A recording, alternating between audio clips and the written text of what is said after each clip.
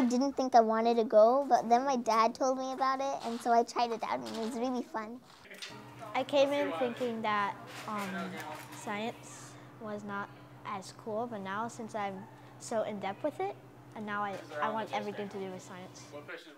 EIS stands for the Elementary Institute of Science, and it was founded in 1964 by a school teacher named Tom Watts. EIS's main mission and goal is to provide a quality, hands-on STEM enrichment program for our students from ages 7 all the way to 17 when they graduate high school.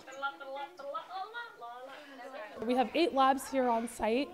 Um, and they offer classes in biology, chemistry, uh, graphic arts, engineering, photography. It's a great exposure here, and we do hands-on activities.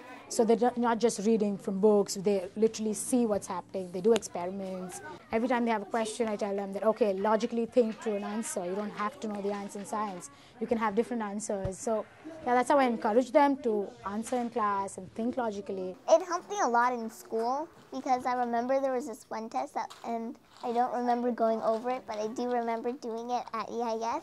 So that helped me a lot. Because of this program, I, they teach me stuff, and I have I went from a C in science to a B. What is it?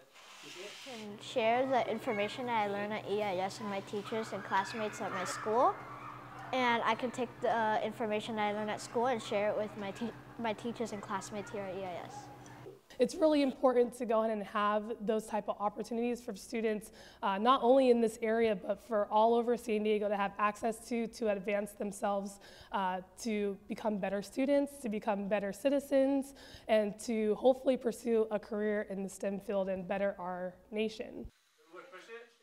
I, I like helping people, and if I could maybe come up with something that would make the world's lives better, I'd be happy to do that. Oh, I love coming to EIS, and every time my dad uh, tells me to come down and so I can sign the papers, I'm like, yes, I get to go to EIS again.